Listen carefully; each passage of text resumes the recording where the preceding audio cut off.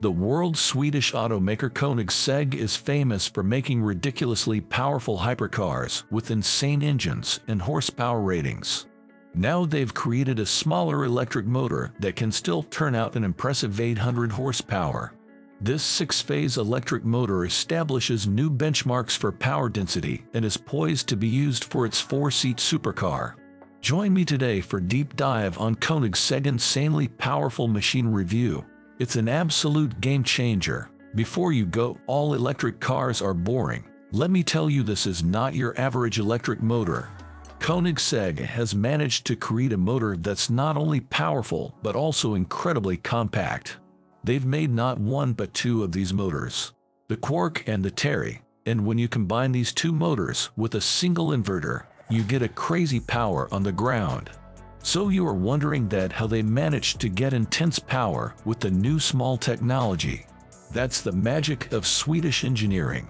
Koenigsegg has managed to create an electric motor that's not only efficient, but also incredibly powerful. The secret lies in the design of the motor itself, so before reviewing the machine, let's dive on the history of Koenigsegg.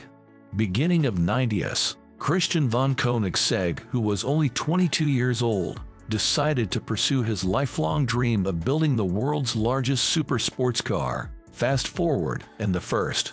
Koenigsegg's concept vehicle CC was finally driven in public for the first time by Rickard Rydell at an event at Anderstorp Racetrack in 1996.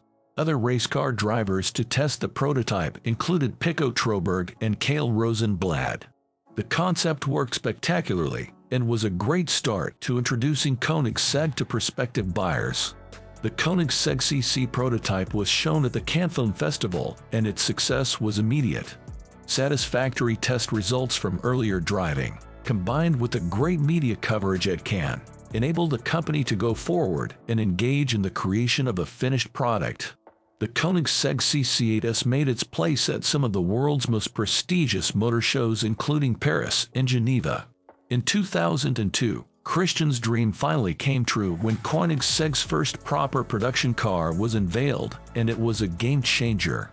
The Koenigsegg CC8S's engine was certified by Guinness World Records as the most powerful engine in a mass-produced car in the whole world. Let's come back the insane Koenigsegg engines. Koenigsegg has ingeniously combined two methods to create the Quarqi motor. They call it Raxial Flux, which sounds made up, because it is but fear not Raxial Flux is a fusion of radial and axial flux two different ways electric motors use function.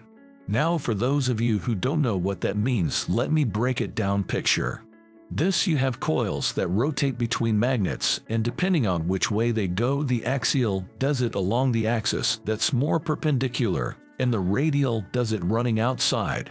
The weight radial flux motors are cheap to create and widely available in electric vehicles, but they need more revs to produce peak power. On the other hand, axial flux motors offer more torque at low revs, but require lightweight and extremely durable materials to withstand a lot of stress by combining these two motors. Koenigsegg has created a class-leading torque to power to RPM to weight matrix, making the Quarqi motor a powerhouse in a tiny package. The Quarqi motor weighs a mere 30 kilos, which is lighter than the motors Tesla used in its everyday models. To give you an idea, that's about same weight of your kid's school bag. The Quark produces an astounding 335 horsepower and 443 pound-feet of torque. However, it's good to keep in mind that the peak power lasts only for about 20 seconds before dropping to 134 horsepower and 184 pound-feet of torque. But still, that's more than enough power for most applications. The insane engine made of 300M steel. That's used in motorsport and aerospace, which is a fancy way of saying it's really strong and really light, and they've used direct cooling, which is not only super efficient, but also makes the whole thing more compact. The rotor is made of Koenigsegg carbon fiber technology, which makes it lightweight and powerful. In fact, the quark is so light and small that it's perfect for all kinds of applications. So how much power are we talking about here? Well, the Quark puts out 330 brake horsepower and 443 newton meters of torque. That's pretty impressive. The Quark Koenigsegg is no stranger to making things lightweight, and they've used their expertise to make the Quark super efficient. They even used air core technology on the rotor, which is the same stuff they use in carbon fiber wheel steering. Wheels and seats, and they're not afraid to use carbon fiber anywhere they can. The Jesko's rear wheels, the weigh just 8.4 kilograms each. That's insane. The Quark is a tiny powerhouse that's perfect for all kinds of applications, and while Tesla might have more power, the Quark holds its own against the competition with its compact size and solid power delivery. Let's not forget that the Quark is made by Koenigsegg, a company that knows a thing or two about making high-performance machines.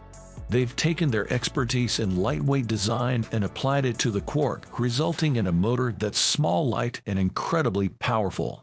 So if you're familiar with Koenigsegg, you know they like to do things a little bit differently than everyone else, from their crazy horsepower to their wild doors. They're always pushing the boundaries, and the TFG engine is no exception. It's a relatively small, 2-liter twin-turbocharged 3-cylinder powertrain when combined with the electric motor on the crankshaft, it produces a whopping 600 brake horsepower for the front wheels and for rear drive there's a single electric motor on each of the rear wheels. The Gemera has four seat side cup holders and a combined output of 1700 horsepower. That's just mind-boggling, and the Quarky motor is the key to making all of this work together. The idea is that the e-motor will handle the low-down grunt for instant acceleration, while the combustion engine kicks in for the top-end punch. According to Koenigsegg, all of this means that the Gemera will effortlessly surge to a top speed of 248 miles an hour. But Koenigsegg isn't stopping there. Along with the Quark, they have also announced the Terrier, which will find its way into completely electric models despite its small size and weight of only 85 kilos.